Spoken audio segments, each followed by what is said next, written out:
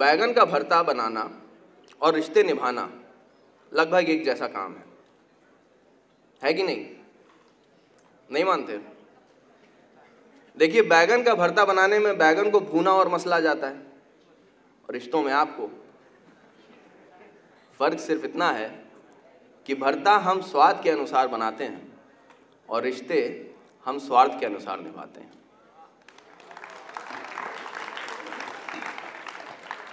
उस दिन उस दिन देर तक पढ़ाई करके, मैं अभी मुश्किल से एक घंटा ही सोया था। इन्होंने कह दिया, टाइम की कमी, कहानी लंबी है, सुनाओ कि ना सुनाओ, बताइए। सुना। तो उस दिन देर तक पढ़ाई करके मैं मुश्किल से एक घंटा सोया था कि मम्मी ने जगा दिया कि उठो। शालू की सास मर गई।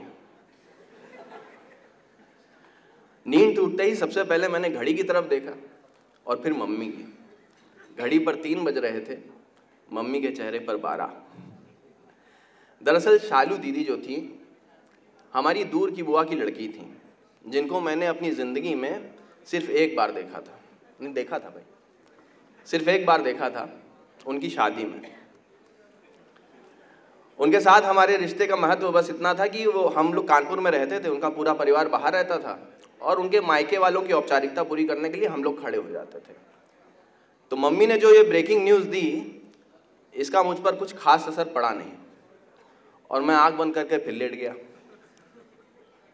मम्मी ने मेरी कमीज पकड़ के झकझोरा कि उठो, हम कह रही शालू की सास मर गई, तुम फिर सो गए। क्या है मम्मी? नहीं, अब शालू दीदी की सास मर गई है तो क्या करें हम? अब उनको फिर से ज़िंदा तो हम कर नहीं सकते।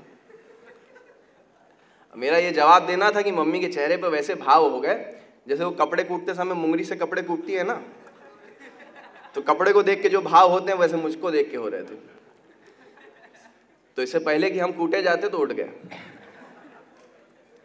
फिर एक फांसीवादी सरकार की तरह बिना मेरे अधिकारों की चिंता किए, मम्मी ने आदेश जारी कर दिया। कि उठो और तैयार हो जाओ, शालू के घर जाना है, अभी जाना है। अब इतिहास गवाह है कि दुनिया का बड़े से बड़ा क्रांतिकारी भी अपनी माँ के आगे सरेंडर हो जाता है। तो मैं किस खेत की मूली था? तैयार होकर निकल लिए। रात का वक्त था। शालू दीदी के घर पहुँचने में ज़्यादा टाइम नहीं लगा। शालू दीदी के घर के सामने गाड़ियों की लाइन लगी हुई थी, लोगों की भीड़ लगी हुई थी। लेकिन ये जो भीड़ थी, ये शालू दीदी की सास की वजह से नहीं थी। इसकी वजह थे हमारे जीजा जी। हमारे जीजा जी जो कि इनकम टैक्स विभाग में काम करते थे। और गाड़ियों की लाइन देख के लग रहा था कि वो लोग हैं जो इनकम टैक्स नहीं भरते। लोग घर के सामने कुर्सियाँ लगा के बैठे हुए थे और एक दूसरे के सामने आपस आ, अपने आप को गरीब साबित करने की कोशिश कर रहे थे।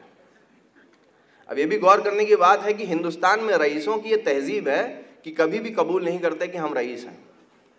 उनसे पूछो कि, कि भाई कितना कमा ले तो कहते हैं बस दाल रोटी चल रही है। तो इसके दो कारण होते हैं कि एक तो सज्जन बने रहते हैं दूसरा टैक्स बचा लेते हैं। खैर जैसे ही मैंने स्कूटर रोकी मम्मी बिना रुके घर के अंदर चली गई। वो रास्ते भर से अपने अंदर का सारा दुख इकट्ठा करते हुए आ रही थी।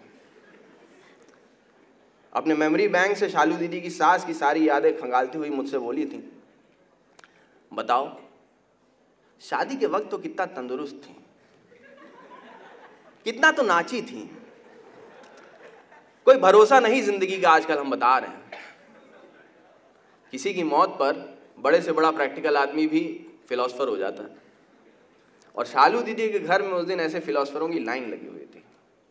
अब एक सज्जन थे, जो गाहे बगाहे बिना मांगे गीता का ज्ञान दिए जा रहे थे। कि भाई ये तो शरीर है जो मरा है। आत्मा तो अमर है। शरीर के मरने पे क्यों रोना भाई? ये जनाब पेशे से प्रॉपर्टी डीलर थे। और एक साल पहले एक प्रॉपर्टी विवाद में पिट गए थे तो अब गनर लेके चलते थे। खैर, शालू दीदी के घर के अंदर एक कमरा अलग से अलॉटेड था, जहाँ पे सारी औरतें बैठ के शोक मना रही थी। शालू दीदी भी वहीं बैठी हुई थी। मम्मी जैसे ही वहाँ गई, उन्होंने सबसे पहले शालू दीदी को थोड़ी सांत्वना दी और फिर वो सवाल पूछा, जिसको पूछने का कोई फ़ायदा नहीं होता, मगर पूछता हर कोई है। क्या हो गया था? अब शालू दीदी ने भी डिटेल में बताना चालू करा कि क्या बताया मामी? मम्मी को बैगन का भरता बहुत पसंद था। आज शाम को हमसे बोली कि बैगन का भरता खाने का मन हो रहा है। बना दो तो हम बैगन का भरता बनाने लगी। तब तक उनकी आँख लग गई। फिर हम उनको उठाने गई तो वो उठी ही नहीं। भरता भी धरा का धरा रह, रुक जाओ भाई टाइम लगेगा भरता भी धरा का धरा रह गया। कितने मन से बनाया था हमने। ऐसा कहते कहते शालू दीदी इमोशनल हो गई। अब जब इमोशनल हो गई तो सारी औरतें उनको चुप कराने में लग गई। मम्मी ने हमको इशारा किया कि जाओ किचन से जाके पानी ले आओ। मैं किचन में गया और गिलास ढूंढ रहा था कि मेरी नज़र एक स्टील की प्लेट से ढकी कढ़ाई पर पड़ी। अब मैं आपको बता चुका हूँ कि मैं बिना कुछ खाए पिए सोया था। तो मैंने प्लेट उठाई तो देखा बैगन का भरता और बगल में कैसरॉल रखा था जिसमें रोटियाँ थी। तो मैंने एक रोटी में थोड़ा सा भरता लिया और खा गया। भरते में नमक ज़्यादा था। अब पानी लेके जब हम शालू दीदी के कमरे में वापस गए तो शालू दीदी दहाड़े मार मार के रो रही थी कि हाय मम्मी, भरता बिना खाए ही चली गए। हम जब पानी उनको दे रहे थे तो हमारा मन किया कि उनसे कह दें कि दीदी, दिल छोटा मत करो। भरते में नमक ज़्यादा था अच्छा हुआ आंटी बिना खाए ही चली गई।